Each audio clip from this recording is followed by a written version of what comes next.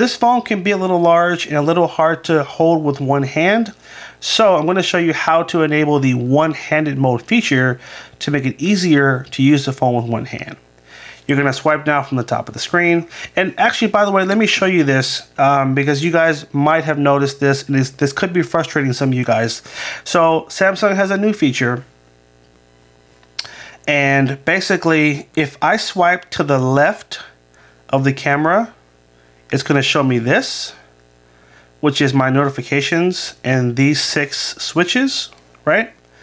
But if I swipe to the right of the camera, swipe down, it takes me right to all my shortcuts, okay? So, here, here.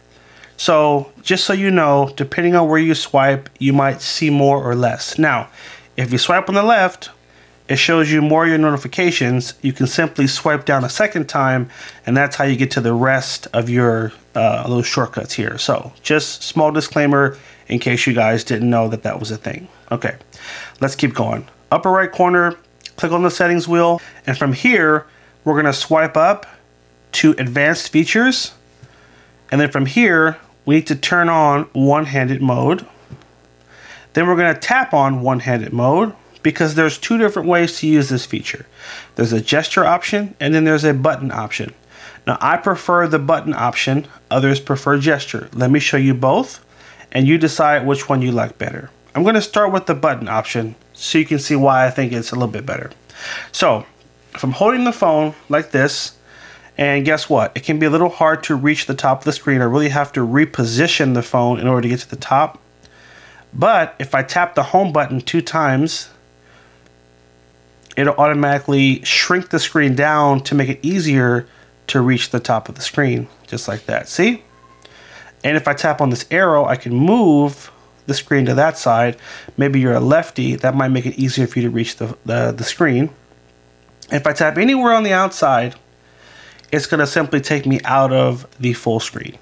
Okay, so that is the button option. Now the other option, let's go back to our settings. The other option is the gesture option. Now with the gesture option, you have to swipe down on the home button instead of hitting it twice like this. Okay? Let me do it again. I'm just swiping right over the home button like this and it shrinks down. So you decide which one works better for you. I personally like the button, the just double tapping is just easier for me, but whatever works for you, no problem.